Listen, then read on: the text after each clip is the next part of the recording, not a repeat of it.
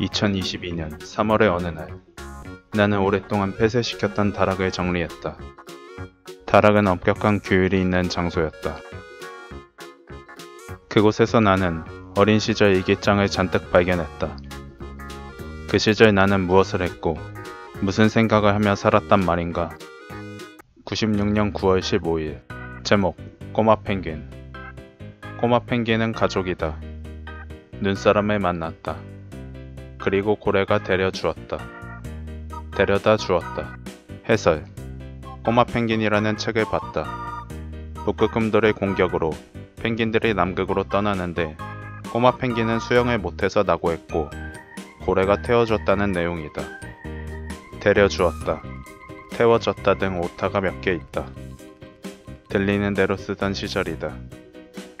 잘했다.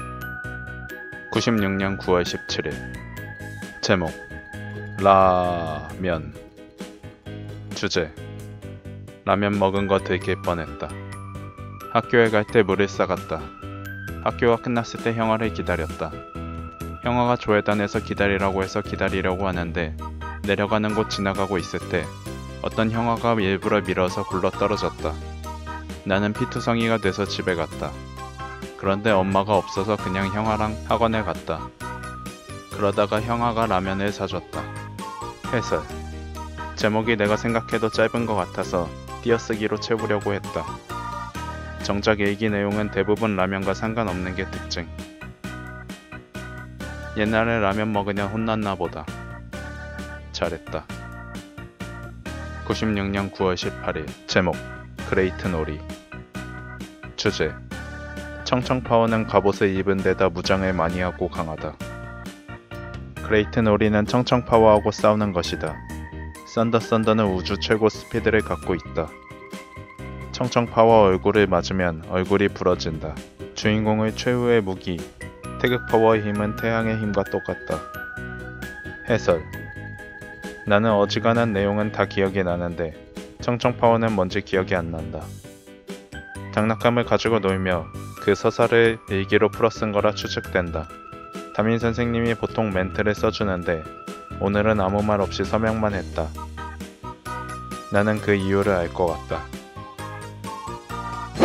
잘했다. 제목 운동에 망쳤다. 주제 비 때문에 운동회를 못했다. 오늘은 즐거운 운동회다. 그런데 비가 와서 못했다. 내일 금 요일에 비가 안 오면 내일 한다. 내일 비가 오면 학교에서 공부를 한다. 비는 미워. 앙. 96년 9월 20일 제목 즐거운 운동회 주제 나는 운동회에서 바구니 터트리기가 제일 재미있었다. 어제는 비가 와서 운동회를 못했지만 오늘은 했다. 나는 운동회에서 바구니 터트리기가 제일 재미있었다. 나는 달리기를 꼴등한 것 같다. 엄마들 달리기도 하였다. 해설 목요일에 비가 와서 다음날 운동회를 했다. 박 터트리기가 재미있었다는 내용. 사실 달리기는 그럭저럭 잘하는 편인데 1학년인 그때는 뛰지 않았다. 뛰어서 이겨야 한다는 생각이 안 들었기 때문이다. 그냥 엄마한테 손을 흔들었던 것 같다.